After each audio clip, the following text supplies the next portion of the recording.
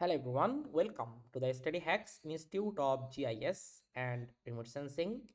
Today I will try to discuss a very important topic, mainly how we can easily calculate the different types of spectral indices such as NDVI, EVI, SAVI, BSI, SI, VSI and AVI. So I'll try to explain all of details step by step and it's very helpful to make the forest canopy density model. Basically it was originally developed as a tool to assess the regrowth of a forest canopy and it only used the bands of the landsat sensor and models canopy height using the data derived from uh, the four indices. Basically advanced vegetation index bare soil index shadow index and also thermal index so if you check it here i already make this type of index. So it's called the avi so basically it's called that advanced vegetation index. And then it's called the vsi it's called the vegetation health index. Si mainly it's called about that shadow index.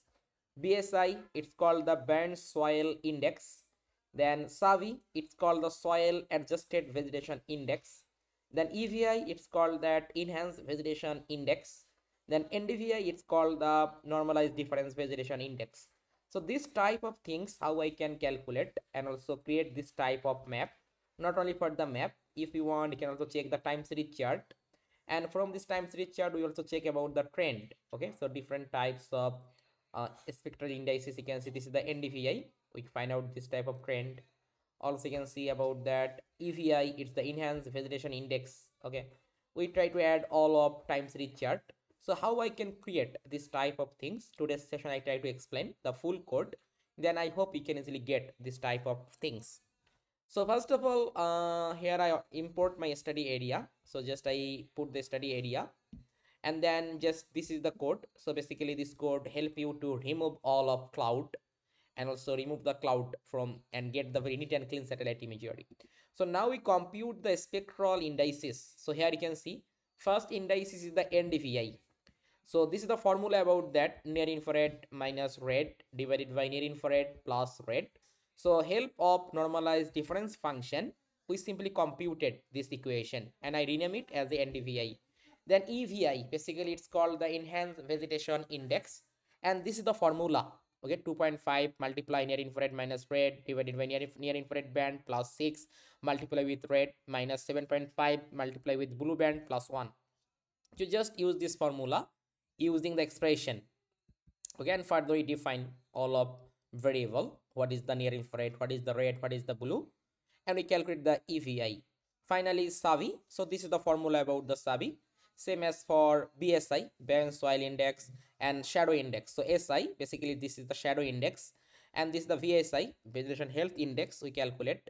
And also calculate the advanced vegetation index avi so this is the formula about that advanced vegetation index. Just we apply the formula. And further you can see in this case just i use a function. And using this function we try to return all of things as a band. So we create the band ndvi evi savi bsi si vsi and avi after that uh, we just connect with our image collection. So just connecting with our image collection. Okay just using the map function okay? And then we create uh, generate the median imagery and further we display all of things one by one. So in this case we are just using the forEach function and at the same time we try to display all of layer for the different types of indices. And same process we also use the forEach function and we generate the time series chart at the same time. So it's very useful using the forEach function. So create the forEach function and we just do all of those at the same time. Okay so you can also create this type of uh, trend line chart. Okay. So this is the way. If you want you can also use the for forEach function and further you can also export all of those at the same time. So it's also possible. So this is the way uh, this type of code you also try to use for your own study area and calculate the different types of spectral indices. Okay. So today is no more. Thank you for watching that. Stay happy stay safe